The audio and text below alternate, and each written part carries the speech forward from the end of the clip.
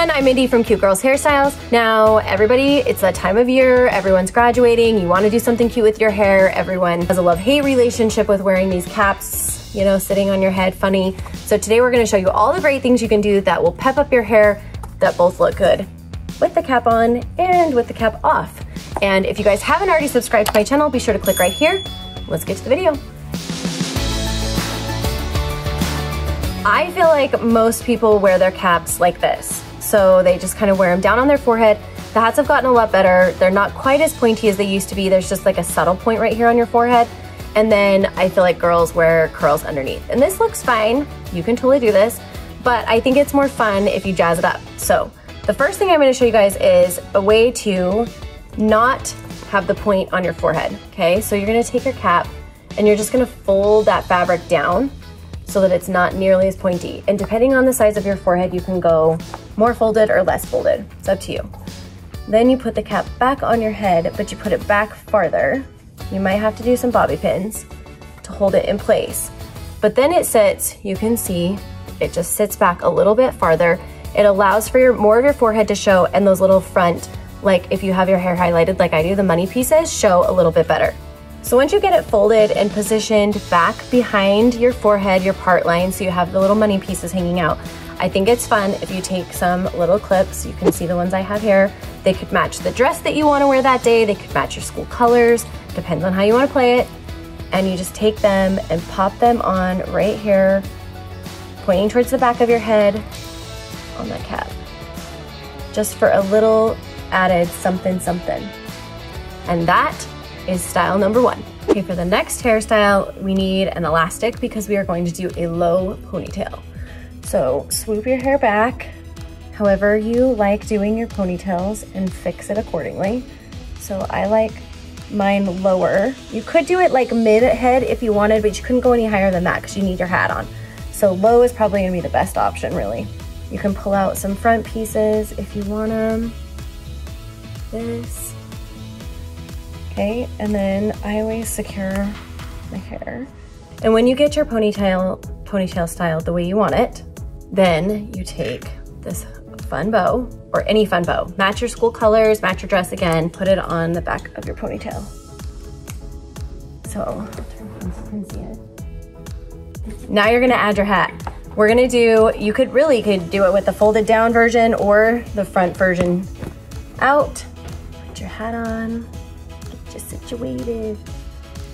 And you have a fun little accent underneath the hat. If you tuck this, like I showed you before, up and under, you could situate it back farther on your head and leave your pieces out even more. Just depends on personal preference. Up next, we have now done a cute ponytail we are going to do a chunky braid. So take this section of your hair. You don't want it too close to your face. You want it sitting back a little bit and it needs to be a pretty good size piece of hair, okay? Because you want the braid to look thick and full. And you are just going to do a braid, okay? I take the outside pieces in on this one because I think it lays a little flatter and nicer on the head. You're just gonna braid it. Simple braid. Don't do it too tight. We want it to kind of look boho and relaxed. And when you get to the end, secure it with an elastic. And remember, if you still think it feels too structured, you can go back afterwards and pull and tug. And don't be afraid to like have bigger pieces, smaller pieces. Just really loosen that braid up because we want it to look relaxed. And then you're gonna let it sit.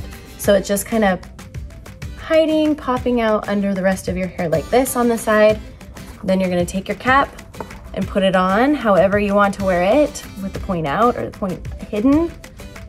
And you have just a fun braid that pops out underneath and especially when you flip your tassel. I can't remember now if it goes left to right or right to left, but when you flip your tassel, then you have this little zhuzh hiding in your hair. Okay guys, we finished the side braid, the little chunky side braid, but we're gonna mix it up. So if you take, just for funsies, if you take a piece like this, I'm actually gonna start, I just want my front wispies out. I'm gonna take this piece, I'm gonna go to the braid, and up here at the top, I'm gonna stick my fingers through one of the loops and just pull it through. Then I'm gonna go down a loop, pick up another little piece, pull it through, go down a loop, pick up another little piece, pull it through until I pretty much have all that hair picked up and through, but really loose and relaxed. And then you can see what I've done is create kind of this fun like waterfall moment that's like side hair going through and kind of hides the braid even more, which is really fun and very different, kind of a cool boho version. We're gonna do two bubble braids right here in front. So what we're gonna do is take a little piece of hair, you want like maybe like an inch. Don't go too far back because you gotta get your hat on, don't forget. But you want it to be, you know, like an inch, a good pencil width hair, okay? Start by doing the elastic, and you can do elastics to match your school colors. You could do elastics just white to match a dress if you were wearing a white dress, whatever you want here. Basically, you just start bubbling it, okay? So you're pulling them, laying them. There you go. See, bubble, bubble, bubble. Just making those little bubbles. You can do them tighter together, closer together, whatever you like.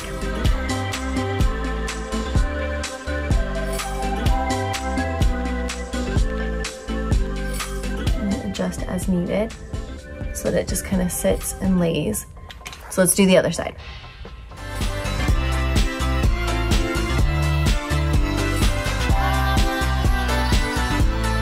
Like to just try to keep track of how many I did on the first side so I can mimic it on the second side. You wouldn't want like four on the first side and 20 on the second side.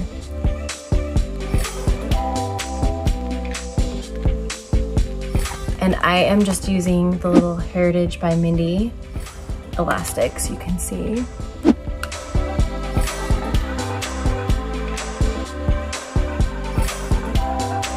When you get your cute little bubble braids all finished, then you can decide whether you want to fold the cap or lay it flat on your forehead. I actually don't mind it flat on the forehead on this one. It's going to cover the top little bubbles, but I think you still get enough of it because I have longer hair to see the bubble effect and it kind of helps keep them laid flat a little bit. And then, you know, do the whole walk thing and you have this cute little pop in your hair the end. Okay, so we're gonna show you how to do a low bun. So some people like to dress up, they wanna wear dresses, they wanna be fancier. If that's the case, what I like to do, I like to leave my front pieces out and I'm gonna go just slightly off to one side. Well, whatever, you can do whatever you want. If you want it on the very straight back nape of your neck, fine. If you want it off to the side, that's fine too. Now I'm just gonna take an elastic and put it here, and then I am going to just twist it really fast like this and then wrap it around the elastic. When I get it all wrapped, I'm gonna take an even smaller elastic and secure it, and then we tweak. After we get this secured, then it's like pull, tweak, piece the bun so that it looks softer. You can use some bobby pins to secure it and get it to where it sits correctly. So I'm gonna grab some bobbies.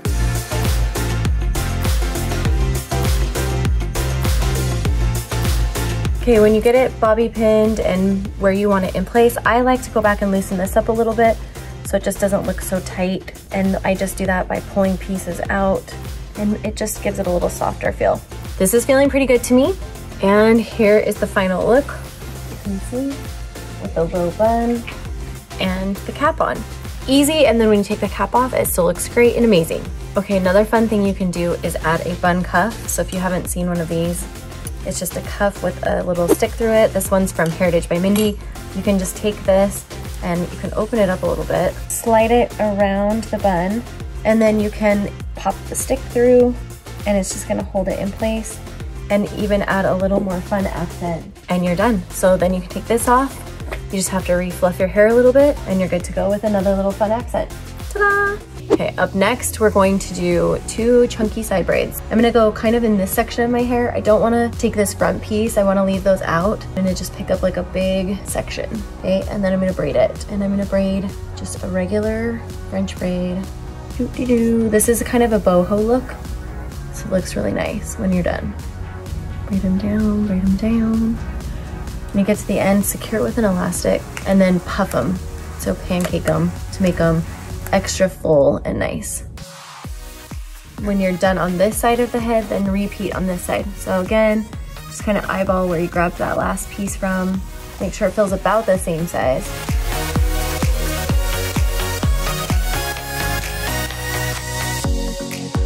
Okay, so now you have a braid on each side, but I'm going to take them and just barely ever so softly pull them back. So we still have all this hair in front. You're gonna take another elastic or you can use one of the ones that's on the end already and secure it.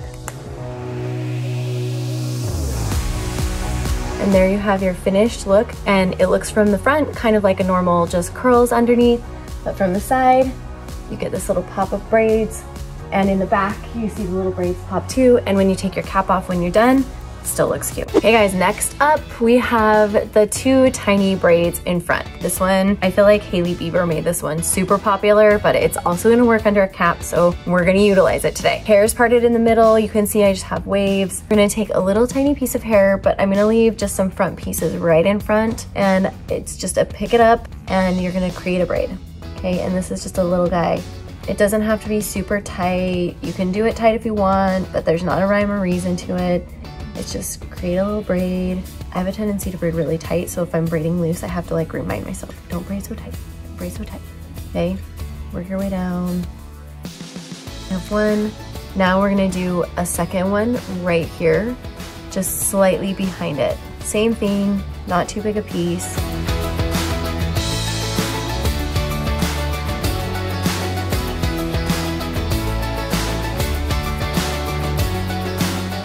Looks like this on the side. Um, we're gonna add a fun element at the end. You can have, I have a couple things you can add. You can add these little hair rings. They look like this. Or you can get them in gold or silver, or this one's kind of a bronzy. The hair rings, you would have just taken and you just put them through a piece of the braid and then you just close them up. And so they just kind of hang out of the hair like this. Or a filigree, this. These are also jewels that often people wear in like dreadlocks or box braids or knotless braids, that kind of stuff. You can get some of these and wrap them on as well. And then they can just be like this in your hair too. You can put them all over if you wanted them. I think I'm gonna do the rings today because I like those. And remember your hat's gonna be sitting, so you don't want them up too far. I might have put this one up a little too high, but your hat comes down to kind of like here, the cap. So now we're gonna repeat this whole process on the other side.